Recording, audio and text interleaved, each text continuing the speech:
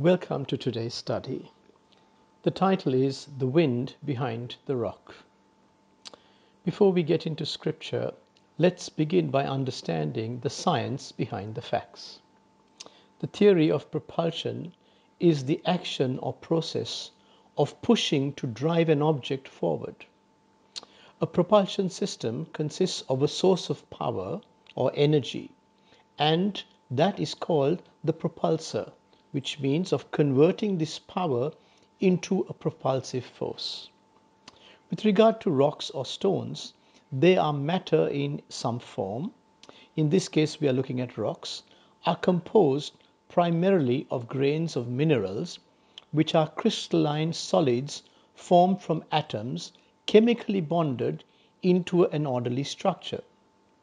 Therefore, for any type of rock, be it small or even a large meteorite, to move through space, it must be propelled by a propulsor of force called energy, which is associated with fire in one way or the other as it's, as it's a combustible force.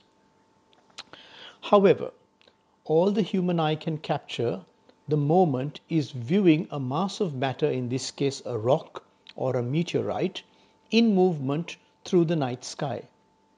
You can never view the propelling force behind the rock, as the human eye cannot capture the force called the wind. Now, moving into scripture, we will see a very similar process taking place, though we never saw it from a scientific perspective.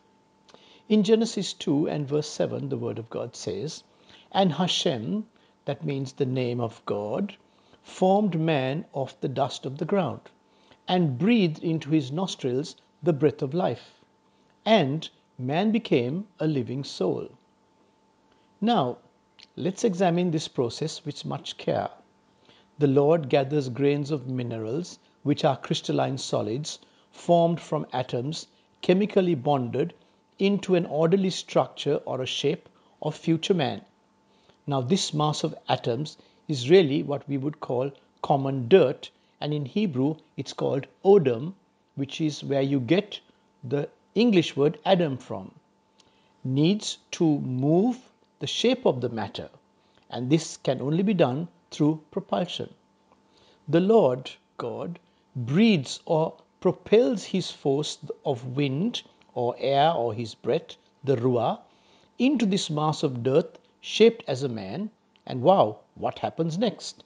The word of the Lord says, He became a living being, and instead of flying through the air like a rock or a meteorite, man begins to move on the earth or begins to walk as there is now an active or a living energy moving this mass of matter called the human being.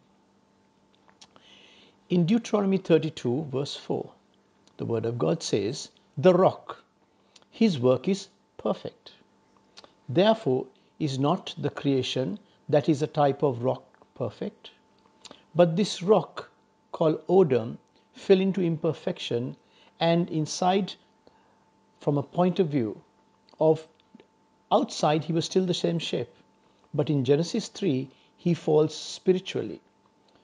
Though he was shaped in the form of man or Odom, and we might not recognize his fall there, he fell in the spirit.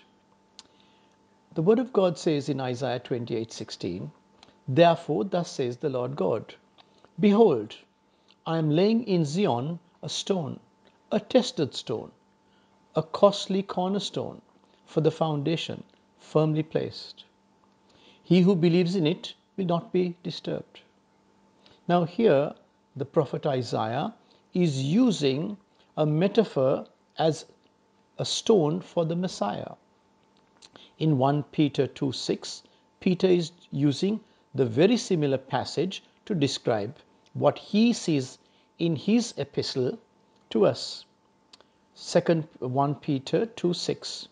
For this is contained in the scripture Behold, I lay in Zion a choice stone, a precious cornerstone, and who he, he who believes in it will not be disappointed. Now, here he's going further to say that whoever believes in this cornerstone will not be disappointed.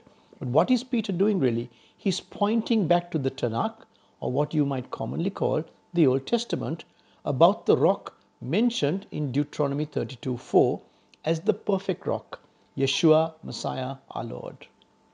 This is further confirmed by the Lord Himself in Matthew 16 18, where the Lord addresses the apostles, though speaking to Peter, where He confirms two things. He says, He is the rock, and those that follow Him, the ecclesia, not the church, and your English Bibles will say, On this rock I shall build my church. That, brothers and sisters, is errant transliteration. There was no church at that time, it was Israel. And he's saying that this called out group, which was the Jews, would stand on him as their foundation. As I pen this teaching, may I remind you that this evening begins Shabbat, and the Torah Parsha or the Torah portion for the week is Parshat Ikev, which is from Deuteronomy 7, verse 12 to chapters 11, 25. And Parshat Ikev talks about the blessings of obedience to Yahweh, the dangers of forgetting Yahweh, and the directions for taking the land of Israel. Moshe or Moses recalls the making and the remaking of the tablets of stone, the rock, who is again Messiah, the Word of God the indent of the golden calf, Aaron's death, the Levites' duties, and the exhortations to serve the Lord, all written on a rock. Now that we have opened up a new realm of understanding, that science can only explain the creation process and not challenge it, as well as our deeper understanding that when we hear the word rock, two thoughts should spring to mind. Yeshua is the rock in Hebrew, we would say Yeshua Tsur, Yeshua the rock. In Greek, we would say Yeshua Petra, Jesus the rock. And we are a fragment of a rock, which is Petros.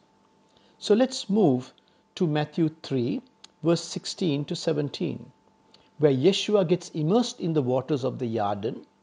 Two important supernatural events take place the immerser sees the Ruah, the Spirit of God, come down as a wind on the Lord as a dove. This is the first time the wind took a shape. It came as a dove. Secondly, the voice of the Father from heaven confirming that this rock was his son. In Genesis 15, the Lord confirms to Abraham his covenant province, his covenant promise, that he will be his shield and his exceeding reward. Moreover, the Abrahamic covenant carries the same promises to you and to me to date. Young David was anointed, in short, set apart for the Lord. Although he still tended the sheep of his family, was suddenly asked by his father Yeshi to take bread, a future uh, example of what the covenant of bread would be with the Messiah to his brothers in the valley of Elah, who ridiculed him for leaving the sheepfold to visit them. Was not the rock Yeshua too rejected when he came as the bread of life to Israel? It's a great parallel that we see. David came to feed his brothers, and so did Yeshua. But when David heard another voice of an uncircumcised one who is not in covenant with the Messiah, a Philistine called Goliath from Gath, he steps up to the new challenge to bring down he who would insult the armies of the Most High God. In 1 Samuel 17:40, not only does he take up does he take up the challenge to fight Goliath, but he bends down and takes five stones or five rocks. Have you ever wondered why David picked up five stones and the symbolism behind it?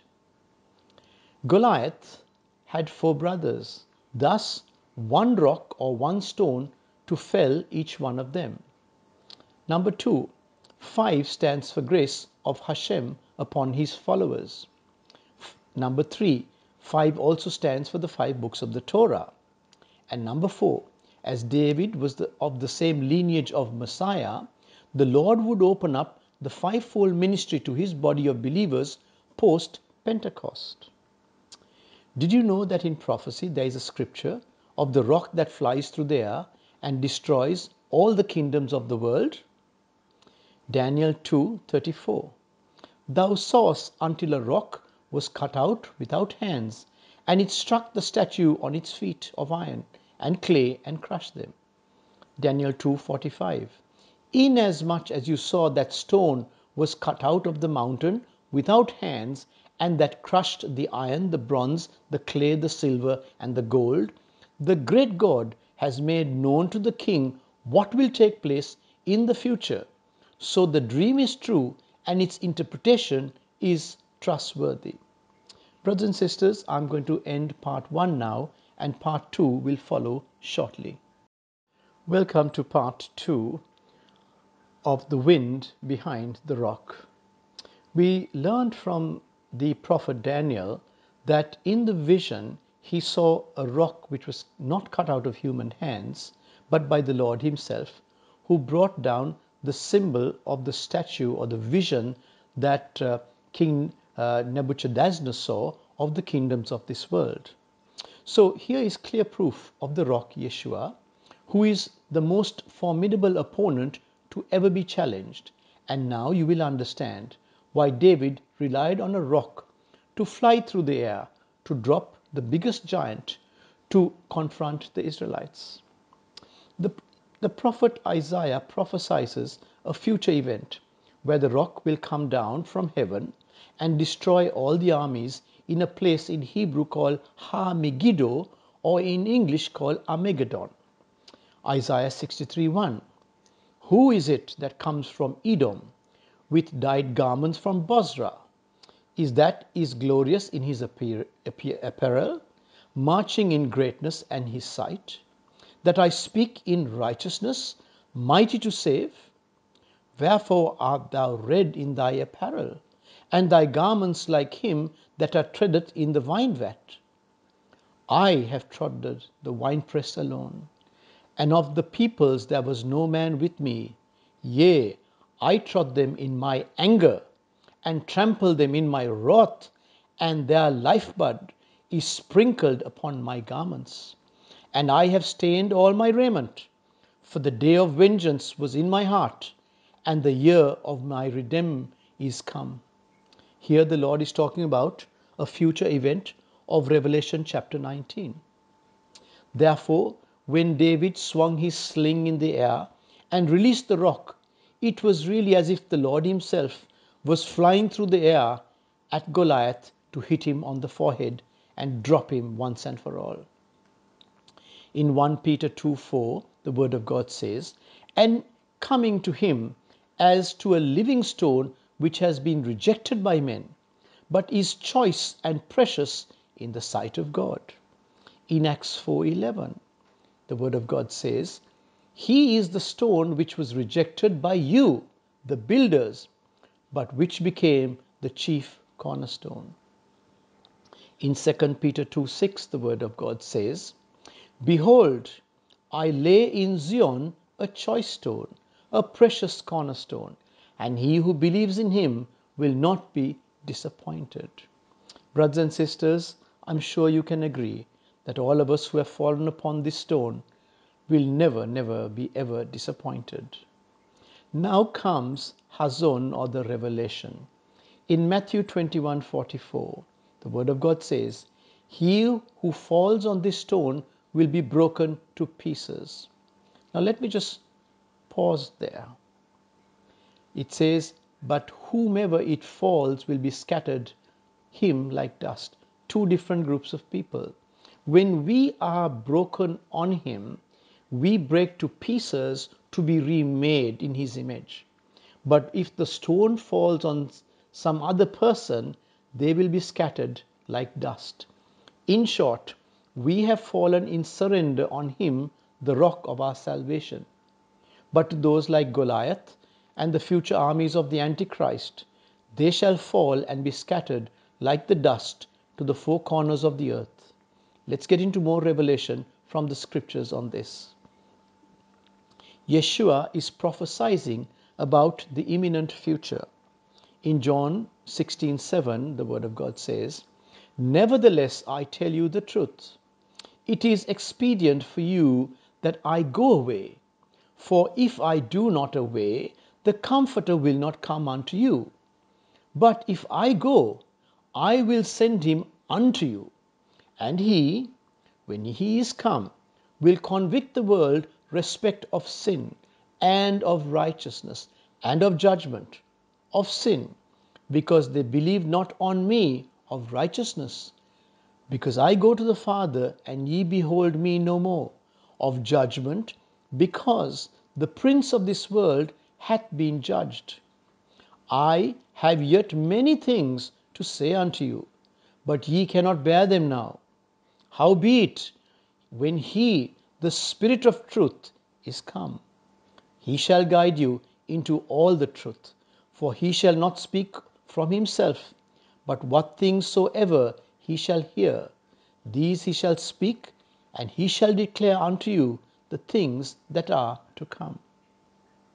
In Acts chapter 2, the apostles are gathered not in the upper room as taught by 99% of churches globally, but are really in the temple at the third hour of the day, which is 9 a.m. in the morning, for the morning sacrifice, together with thousands of other Jews from all parts of the world, because it was the feast of Pentecost or Shavuot.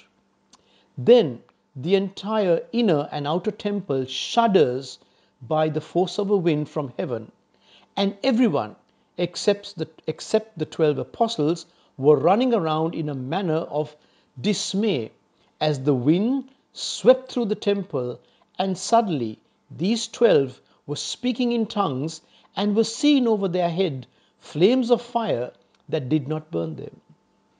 In Hebrew, the word for the wind, the breath, and the spirit is one word, ruah. So, in reality, wherever the wind was spent in scripture, the word was ruah. In the Hebrew learning, we learn the word drash, and drash is a part of our study for digging deeper into the word for more information. So let's drash into scripture. In the Tanakh, the word esh appears 375 times and has many different meanings depending on what the sentence would form. Basically, Esh means fire, but in many instances it means the wrath of heavenly fire, and in one case, in Genesis 2, where the Lord takes the rib out of Adam and fashions Eve, he says in his word, He made them both man and woman Esh and Esha. Esh and Esha.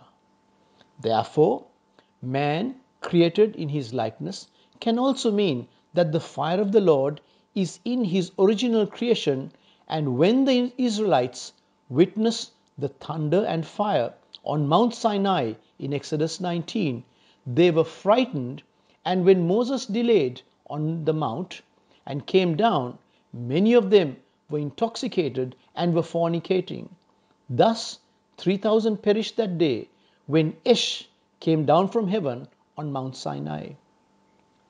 When the Ruach HaKodesh, or the Esh of God, returned to Mount Moriah in Jerusalem, as promised by the Lord in John 16, not only did people experience the same Ruah or wind that hit Mount Sinai thousands of years ago, they also experienced the fire, the Esh of God. But this time it was the second baptism of fire of the Ruach HaKodesh, the baptism of the Holy Spirit. To conclude, brothers and sisters, we learned about the composition of rocks.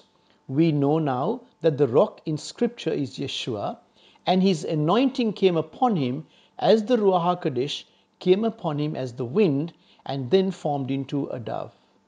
We also learned that the wind and fire came down on the Israelites on the first Pentecost mentioned in Scripture on Mount Sinai during the leadership of Moses. Thousands of years later, on the same day of Pentecost, the same fire and wind came down of the Ruach HaKodesh upon the apostles as the Ruah and the Esh came upon them.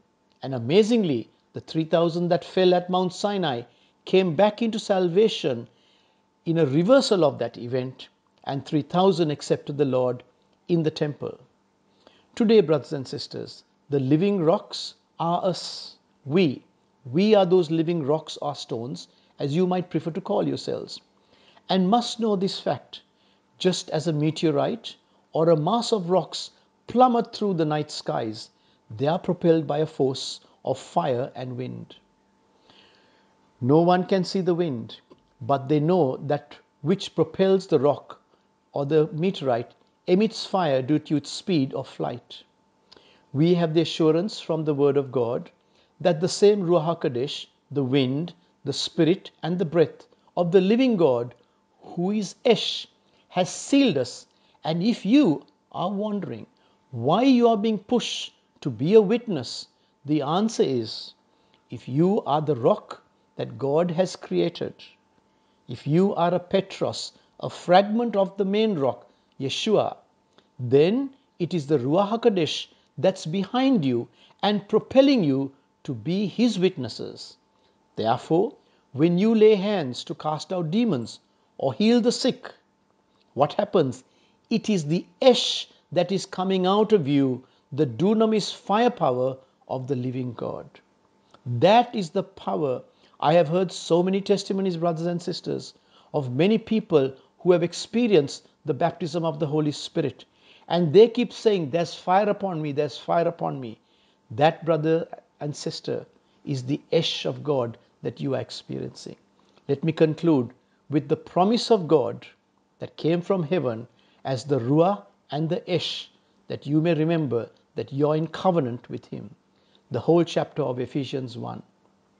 Blessed be the God and Father of our Lord Yeshua HaMashiach who has blessed us with every spiritual blessing in the heavenly places in Messiah, even as He chose us in Him before the foundations of the world, that we should be holy and without blemish before Him in love, having foreordained us unto adoption as sons through Yeshua HaMashiach unto Himself, according to the good pleasure of His will, to the praise and glory of His grace which he freely bestowed on us in the Beloved, in whom we have our redemption through his blood, the forgiveness of our trespasses, according to the riches of his grace, which he made us abound towards us in all wisdom and prudence, making known unto us the mystery of his will, according to his good pleasure, which he purposed